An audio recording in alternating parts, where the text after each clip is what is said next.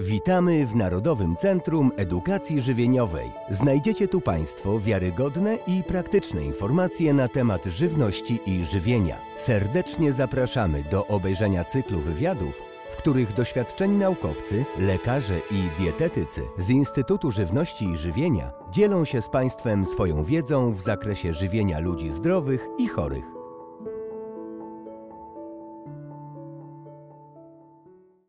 Każdemu z nas e, raz na jakiś czas po jedzeniu e, się odbija, przez co czujemy smak nadtrawionego pokarmu.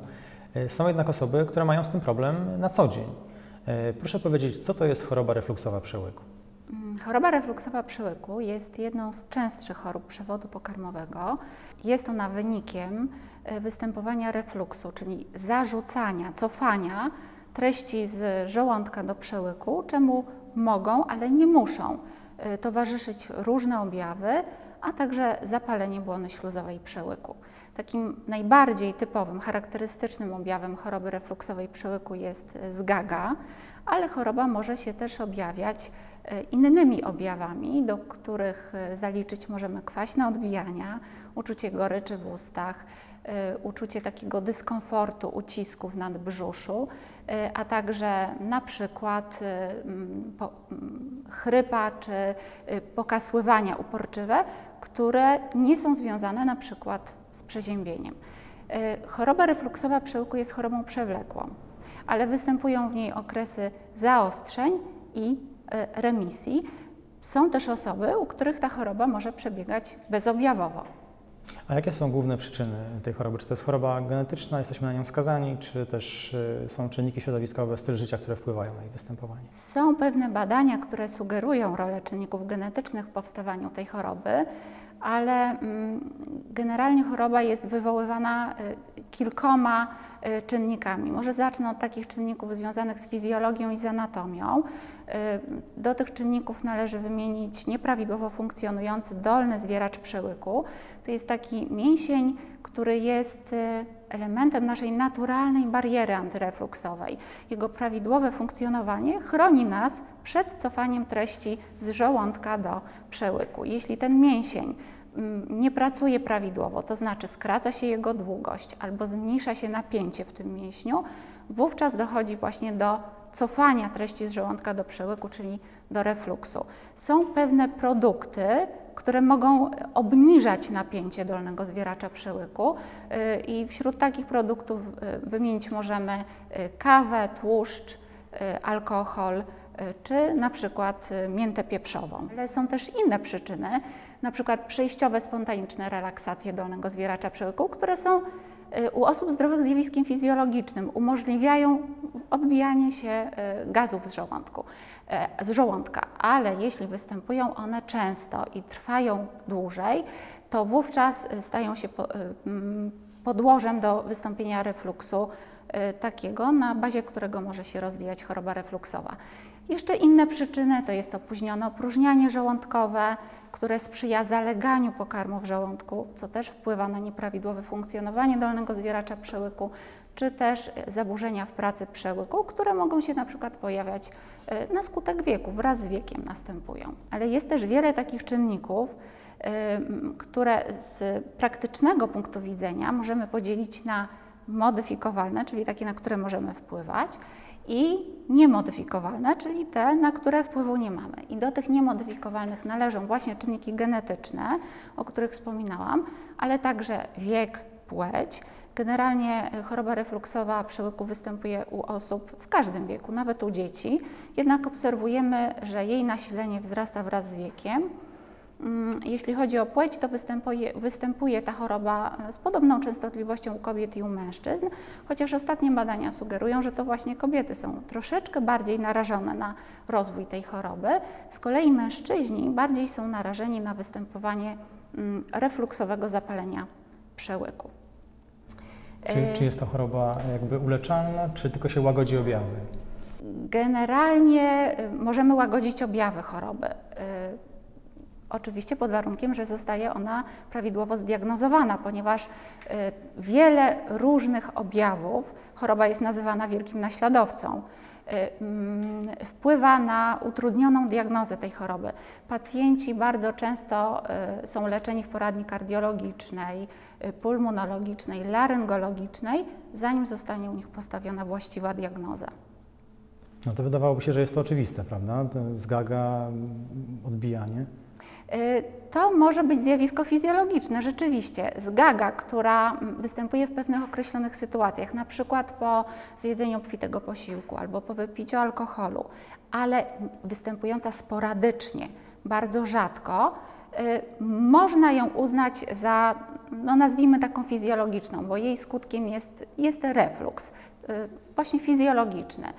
Y, taki refluks fizjologiczny różni się też od patologicznego tym, że nigdy nie występuje w nocy. Natomiast jeśli refluks, którego następstwem jest zgaga, y, zaczyna się pojawiać często, trwa dłużej, wówczas możemy zacząć podejrzewać, że mamy do czynienia z chorobą refluksową przełyku, zwłaszcza gdy ta zgaga zaczyna wpływać negatywnie na jakość życia chorego. No właśnie, proszę powiedzieć, jakie mogą być y, konsekwencje y, mm, refluksu, no, na przykład nieleczonego? E, sama choroba jakby nie zagraża bezpośrednio życiu pacjenta, natomiast y, może mieć bardzo poważne powikłania i te powikłania mogą być już groźne nawet dla życia. Do takich najczęstszych, bardzo poważnych powikłań choroby refluksowej przełyku, nieleczonej oczywiście, należą krwawienia z przełyku, zwężenie przełyku, także przełyk Bareta, czyli zmiana przednowotworowa przełyku, a w takich skrajnych przypadkach nawet rak gruczołowy przełyku. A jak się leczy refluks? Jeśli refluks, jeśli choroba refluksowa, tak? bo musimy pamiętać o tym, że mówimy tutaj o zjawisku patologicznym. Więc jeśli choroba refluksowa przełyku zostaje zdiagnozowana, to najczęściej leczy się ją przy użyciu odpowiednich leków. Są to leki hamujące wydzielanie kwasu solnego w żołądku oraz leki zobojętniające kwas solny i działające osłonowo na błonę śluzową. Właśnie te leki zobojętniające bardzo często um, osoby ze zgagą która coraz częściej pojawia się w ich życiu, y, mm, biorą na własną rękę, bez konsultacji z lekarzem, co też może w jakiś sposób opóźniać właściwą diagnozę. Oprócz farmakoterapii, czyli stosowania leków, y, pomóc może także dietoterapia i zmiany w stylu życia. Tutaj warto zauważyć, że pacjenci, którzy biorą leki, u których ustępują objawy, zapominają o tym, że warto jednak cały czas y, stosować odpowiednie żywienie i odpowiednie elementy stylu życia. Y, tymczasem y, mamy badania, które wskazują, że u osób, które długotrwale przyjmowały leki stosowane w leczeniu choroby refluksowej przełyku, głównie inhibitory pompy protonowej, następowały niezamierzone wzrosty masy ciała, a nadmierna masa ciała jest niezależnym czynnikiem ryzyka e, choroby refluksowej przełyku. No a co jeśli y, zmiany stylu życia i y, żywienia nie dają efektów pozytywnych? Wtedy pacjent obowiązkowo powinien udać się do lekarza pierwszego kontaktu, który zdiagnozuje, który zaordynuje odpowiednie leczenie, pokieruje też do odpowiedniego specjalisty, jeśli będzie taka potrzeba, warto też udać się do dietetyka, który podpowie, co być może dodatkowo warto jeszcze zmienić w sposobie żywienia czy w stylu życia, aby ulżyć w dolegliwościach chorobowych. A można przez właściwe żywienie zapobiec wystąpieniu tej choroby? Y, można raczej zmniejszyć, zminimalizować y, objawy tej choroby i tutaj, y, tutaj no, zalecenia podpowiadają wiele różnych rozwiązań.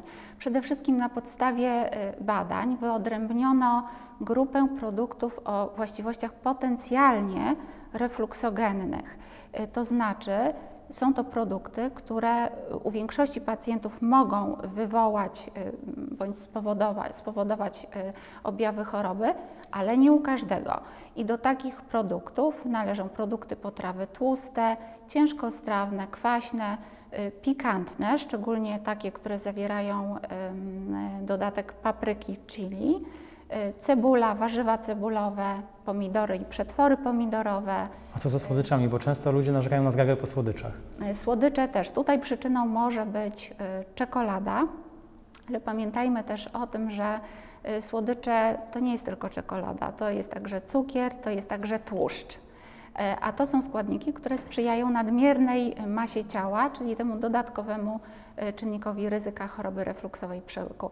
I właśnie te produkty, które wymieniałam, dodatkowo alkohol, kawę, napoje gazowane, e, warto eliminować z diety osoby z chorobą refluksową przełyku ale w związku z tym, że każdy z nas e, bardzo indywidualnie reaguje na różne produkty, to najlepszym rozwiązaniem jest prowadzenie przez taką osobę chorą dzienniczka, w którym będzie ona notowała, po jakich produktach, w jakich sytuacjach pojawiały się objawy i właśnie takie produkty będzie eliminowała ze swojej diety, bo to będzie najskuteczniejszy sposób poradzenia sobie y, z dolegliwościami. Ale oczywiście nie tylko to, co jemy, czyli skład diety jest ważny, ważne jest także to, jak jemy.